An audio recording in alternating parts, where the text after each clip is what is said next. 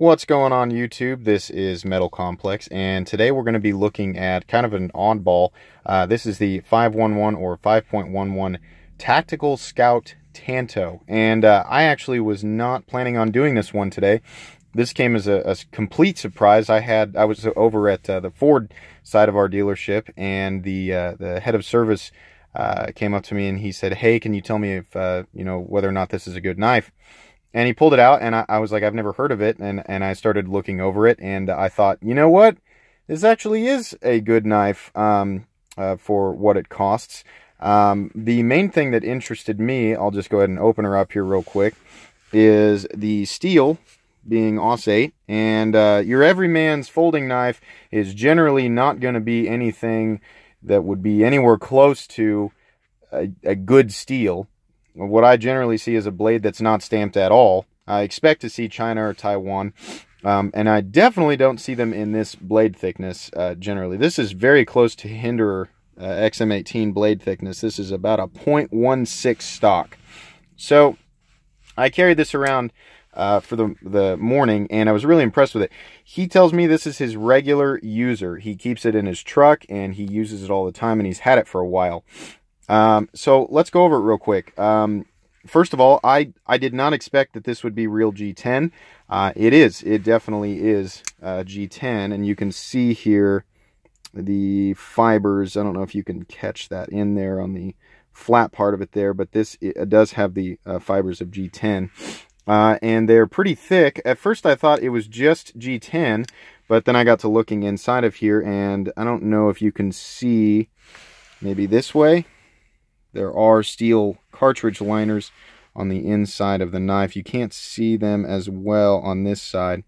Um, it actually, the camera angle and the dust that's sitting on there makes it look like it's G10, but you can see that line there. That darker area is actually steel. Uh, so this is a steel liner lock, and I was really impressed with the engagement here for as much as he claims to have been using it, and it certainly does look like he's been using it. Uh, this is still engaging very early, so the point of contact is great. You can see there where it's been engaging on this uh, steel right here.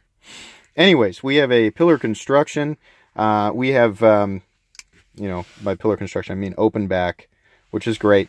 Uh, this is, is super ugly. I mean, this is, you know, it, it really reminds me of the, oh, not the same exact look, but it's the same idea that I get when I look at a paramilitary too. It's ugly.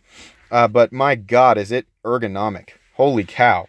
I mean, this fills your hand perfectly. It's got a nice ramp right here. It actually has a forward choil. I know that that's the case because there's jimping right there.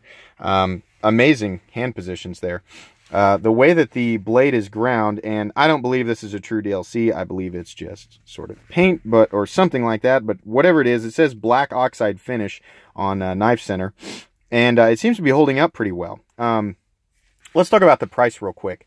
Uh, this is at the top end of what I would consider inexpensive. I personally, I consider anything under $50 to be inexpensive. So I'm still categorizing this as, you know, this is still a, you know, inexpensive knives that I like video. Uh, anything over $50 I probably won't do in this mini series. I'll probably just talk about it for the price range. But anyways, I'm still considering this a, an inexpensive knife. Some of you won't, but that's fine. Everybody has a different opinion of that. Uh, anyways, how the blade is ground is the flat carries all the way out to here, and then you have a Tanto edge, but this one, I, I believe, in my opinion, is going to be even stronger than a regular Tanto because the tip actually drops. So you end up with kind of a stubby Tanto tip, but that allows uh, for a, you know added strength over an already strong blade design. The Tanto is a, is a very strong blade design, and while it's not my favorite, uh, uh, blade setup. You know, if you've watched my other videos, you hear me talk about that. Um, it certainly does does have its place in utility, and if it's ground correctly with the right thickness, you know, you can you can call that hard use, absolutely. And uh, this is what I would call a budget hard use folder. Um, he's been using it like that. This has just been in a truck, and it's been used to kind of beat on. Uh, it is an AUS-8 steel. Let's talk about AUS-8 real quick. So AUS-8 used to be uh, considered a I don't know if you want to call it a super steel, uh, but uh, it used to be considered like one of the most excellent steels that you could get. Um, I don't know I honestly I don't know what the corrosion resistance of AUS-8 is. Uh, you know, I might I might edit that in uh, in uh, uh, text down there at the bottom. Um, but I know that it it's reasonable for you know holding an edge. It's not going to be you know even anywhere close even 154CM or uh, D2 or, or anything like that. But it's reasonable, but it's it's notorious for being easy to sharpen, which is great. Uh, the way that this is ground, it's not going to be a toilet paper slicing uh, shred machine or anything like that, but it certainly is going to hold a reasonable uh, working edge, you know, for hard use, and then you can uh, resharpen it fairly easily, though you will have to, you know, if you're going to strop it, you will have to do it two different angles because we've got a completely different angle up here on this Tanto edge. Um, let's talk about the action, which I was really surprised about. This actually has really good action. Um, you can flick it out, though, you know, it's kind of hard to do uh, because of the placement of the hole here. You can, uh, let's see if I can do this on camera almost. You can almost reverse flick it like that, but realistically, you really don't need to be firing it out and making it look all cool like that.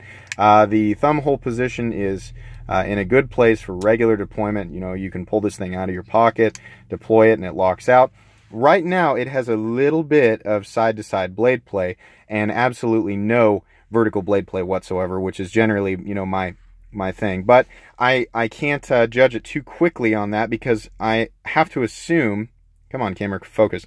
I have to assume that with just a little bit of messing around with the pivot and the body screws, you know, one right here seems to be maybe kind of wanting to come backwards a little bit, uh, that this blade will not only center up, which it's not right now, uh, but that there won't be any blade play whatsoever.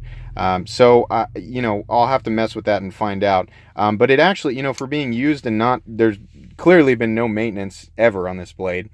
And uh, it seems to be holding up really, really well for as much as he claims to use it. Blade's reasonably sharp, but he's definitely been cutting stuff with it. I don't know what. Uh, pocket clip can be tip up, tip down, right hand or left hand, which is awesome. And it has what looks to be the standard bench hole, Benchmade, bench hole, Benchmade three hole pocket clip setup, though it may not be exact. If it is, then that makes the pocket clips modular, and that's really, really cool. If not, no big deal. You can put the pocket clip wherever you want. Has a little tiny lanyard hole. That's kind of a joke. I uh, wish it was... Sorry about that. My camera cut off on me. I think my battery was uh, running low, so went back in to charge it, and now we're back. Uh, we were talking about the lanyard hole. Kind of a small lanyard hole, kind of a joke, but whatever. You can still get um, paracord in there. Um, so overall, this has a very impressive design. You know, you've got, to recap, we've got steel cartridge liners, which do run all the way through. Yep, definitely all the way through. You can see down there on the butt end, past that last standoff. You've got G10. You've got a very thick uh, stock of AUS-8 steel. Um, and you've got a liner lock that seems to be holding up pretty well. So, and then ergonomically, you know, doing great there. Now, of course, I don't uh, prefer this to be tipped down, but you can put it wherever you want.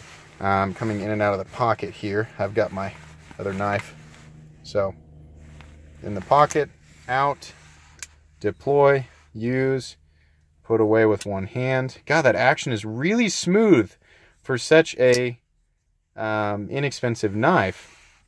But yeah, golly, you see that swing free there? A little bit of lock stick on that one there, but that's never an issue. You can definitely, yeah, it's not doing it now. But yeah, really smooth action. And like I said, I'm sure you could get this thing um, you know, tighter, make sure, you know, get that blade centered so it's not rubbing. Um, but it's the, it's the lockup that I'm impressed with. Very, very minimal side-to-side -side play on something that's been used, you know, probably since he bought it, fairly hard, and no vertical whatsoever. Um, but yeah, this is, uh, this is what I would call a budget, fairly hard use folding knife. And it looks like it would hold up pretty well. You know, I don't, I don't think that stock of AUS-8 is going to snap on you. So I think if you were really using it hard enough, um, your liner lock or, or something in the frame around the pivot is going to fail before the blade actually does. So I'm not saying go out this, go out uh, with this and, and uh, get a hammer and, and baton it through something because despite what anybody says, you should never use a folding knife for that. But if, you know, if you want to, uh, if you got about, you know, 50 bucks to spend and you want a, a knife that you're not really going to have to worry about too much, you can throw it in your truck and get it out and use it pretty hard and then put it away without uh, anything failing on you, then this is uh, probably a good way to go. Now, obviously, the knife that's going to take the cake in this category, and I've never even handled it, but um, from what everybody else says and, and from what I've seen, um, uh, is the uh, Ontario Rat uh, number one is probably the best budget hard use folding knife out there and it does beat this by about eight bucks. I think you can get it for about 43 dollars right now. Could be could be wrong about that but you know, their previous model or the the uh, the last gen of that was AUS-8. It was a thinner stock, but they've since upgraded it to D2, which is definitely a better steel uh, than AUS-8. Uh, in terms of um, you know edge holding and toughness and corrosion resistance, I think, and things like that. Again, I might edit my what I'm saying there if I'm wrong, but uh, no, this is impressive, and I had never heard of this before. I'd never heard of uh, 511 or 5.11, or I don't even know if I'm saying that correctly, but um, this is an impressive knife, and $50, like I said, we're getting on the, the, the upper end of what I consider to be inexpensive, but that's a lot of money to a lot of people. You know, the, the first uh, uh, fairly expensive knife that I bought was around $50, that Blur. I think it was like $63 at the time. And uh, that, uh, you know, I remember being like, did I really want to blow that on, on that knife? But for 50 bucks, I think this is a good knife. Um, I think that this, you know, is is an impressive setup. Uh, you're you're not going to have um, you know perfect fit and finish. You know, you can see there like the uh, where they've ground the tip is is at a little bit, uh, you know, at least that line there's a little bit at an angle. Um, but little things like that, you know, it's not going to be, it's probably not ever going to be perfectly centered. Um, you may not ever, per, you know, completely get rid of the side-to-side -side play, but again, that's really to be expected. The liner seems to be holding up really well, though. The pocket clip seems to be holding up well. The screws seem to be staying in for the most part, less this one, um, which, you know, you can just screw them back in. I wish they had gone all the way through, but I can understand why they didn't with this being G10 on both sides. Um, but, you know, really good overall construction. I, there's not really much to complain about here. So this is an interesting knife, and and it was an it was an oddball. I don't always expect to run into you know just a regular person who's not a knife nut who's carrying something like this almost by accident. You know, I don't know if he just went in and was like, I feel like spending 50 bucks on a knife and he just accidentally got something that's actually pretty good in my opinion or, you know, or, or what. I don't know if he graduated to this, but I was really surprised to see AUS-8 on there. Despite it not being a super steel by any means, it's certainly better than what the everyday person uh, carries. This is not made in the United States. It is made in Taiwan, so keep that in mind. Um, not that that, you know, really matters, but uh, interesting. Also, there's a maker on here by the name of uh, Mike Vellekamp, and I don't know anything about him. And uh, maybe that will discredit my knowledge of some people will go, oh, you don't know who that is? Oh my gosh, you know, how can you even review this knife? Well, uh, you know, I'm sorry. I'm, I'm aware of a lot of custom makers, um, but uh, that's not one of them. So if you know him and you like his stuff, I imagine you'll like this maybe even more. Um, if you don't know who he is, then you probably won't care. Um, but uh, yeah, as far as the overall design for this knife, really good. Very impressed with how this is set up. Uh, it weighs about five ounces. It's pretty big in the pocket, but not terrible, not the worst that I've ever seen. You know, if you're going to be using this as a way, this is not an office carry knife. This is a, you know, on a construction site or out, you know, I guess doing field work or, you know, this is an out outside, throw it in your truck, use it, you know, when you're going to be using something fairly hard kind of knife, you know, and it's ground appropriately for that. Um, so all, all those things considered, I think it, uh, I think it'll perform, uh, tasks that it was designed to, uh, excel at, uh, pretty well. So uh, that's pretty much it for today, guys. Just wanted to show this off. Um, I do have some interesting content coming. I have something coming in the mail that I'm excited to uh, show. And uh, I have, um, how do I say this without spoiling it? I have uh, an interesting series of videos that I'm going to be doing uh, over a, a, you know, a long period of time. And, uh, you know, we'll kind of get into that more when this thing comes. Um, but uh, anyways, so uh, keep your eyes out for that video. It should be here sometime this week, and we'll go over that. But uh, if you enjoy the video today, please leave a like. And uh, if you are new to the channel, please explore my other content. I do have uh, lots of other knives, both inexpensive and expensive, that I do or don't like. Uh, so check those out definitely. And if you enjoy my content, then please subscribe and turn those notifications on because there's going to be a lot more Uh, regular content to content to come. So that's it. Thanks for watching and have a great day.